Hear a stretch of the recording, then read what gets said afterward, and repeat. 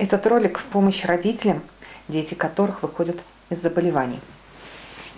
И всегда любое заболевание, которое дано у ребенка, оно дано для того, чтобы родитель изменился. Для того, чтобы родитель стал другим, чтобы изменились его реакции, его отношения, изменилось его восприятие жизни.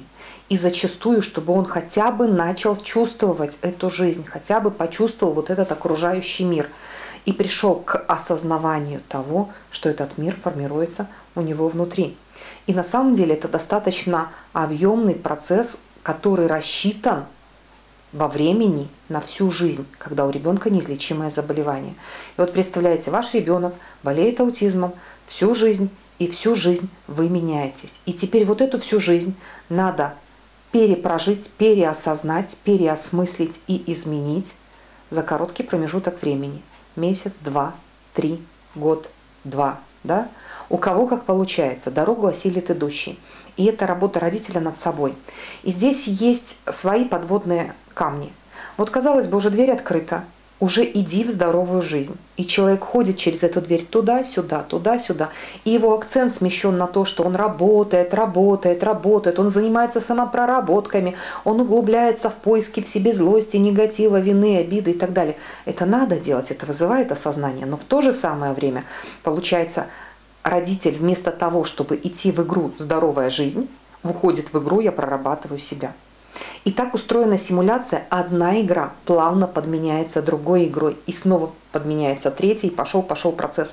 И зачастую эти игры совмещаются в себе, как матрешка. Задача при выходе из заболевания ребенка и родителя, и взрослого человека болеющего, в принципе, та же самая. Задача закончить одну игру, завершить и начать другую. Понимаете разница? Не навернуть одну игру на другую – я болею, потому что мне надо внимание, и я тогда буду ходить к остеопату, э, еще к кому-то, к врачу и так далее. И все уделяют мне внимание, и мне хорошо, и я вроде поправляюсь, но я снова болею, и я снова себя прорабатываю, я становлюсь лучше, я хожу еще к специалисту, и пошел. Это целая игра длиной в жизнь. Вот для того, чтобы любую игру закончить, надо ее отпустить с благодарностью, осознать, поблагодарить и отпустить. Любая игра завершается через благодарность, но эта благодарность не на словах. Это ваше осознавание, насколько вы в глубине души благодарны тому, что это произошло с вами и как вы изменились за это время. И тогда игра завершается, и вы тогда создаете новую игру, и тогда не создается матрешка. Каким образом этого достичь? Через практики. Мой совет вот такой из личного опыта. Практика зеркала, она синхронизирует вас с собой. Она синхронизирует ваши зазеркалье с вашей реальностью, ваше подсознание с вашим проявленным миром. И вы можете тогда наблюдать себя со стороны. Поэтому практика зеркала у вас идет постоянно. И к практике зеркала добавить счастливое состояние.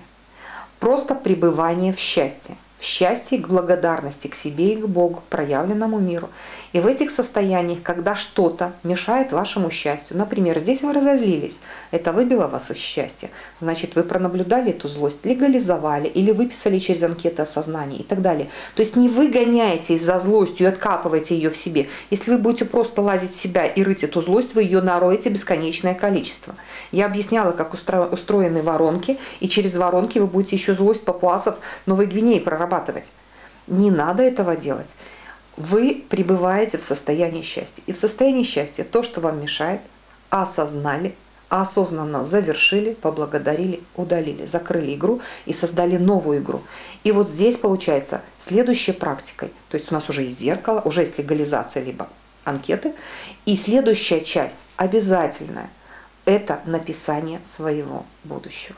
Потому что те люди, с кем мы работаем, мы всегда даем мольберт и бумагу. Пишите, пишите счастье, пишите другую жизнь, пишите успех, пишите финансы, пишите реализацию. Все пишите то, что дарит вам счастье. И вместо этого человек от ума плетет какую-то от себя тяну. Я хочу дом для бабушки, машину для мужа, еще там что-то. А вы где? А вы там где? А ваше счастье где?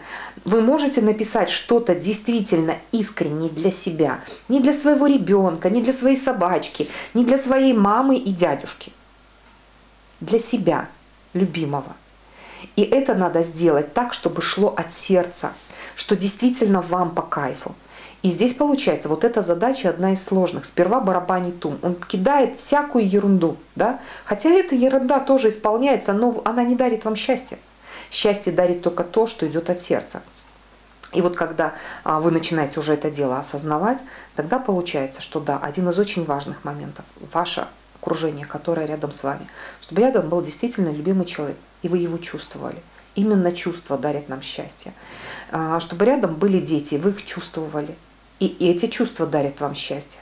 Чтобы у вас была реализация, и вы ее чувствовали, и вы ловили кайф от нее – и здесь практика 100 глаголов в помощь. И помните, дорогу осилит идущий. Практику 100 глаголов сделали редкие люди, потому что они просто, человек такое существо, которое просто ленится. И только сильный человек действительно делает эту практику, очень быстро находит, чем ему в жизни заниматься. И у него действительно а, начинается а, везение, пруха, успех и так далее. То, что дарит человеку возможность двигаться дальше в любви и счастье.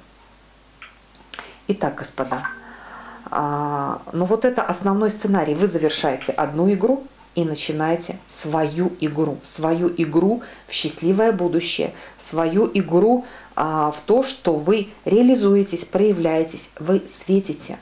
Ваша душа наполнена светом. И таким образом вот этот вот свет вы возвращаете в свою душу, и таким образом вы возвращаете в себя Бога. Того Бога, который вы вынесли куда-то на солнышке, на солнышко ввиду представлений об объективности этого мира.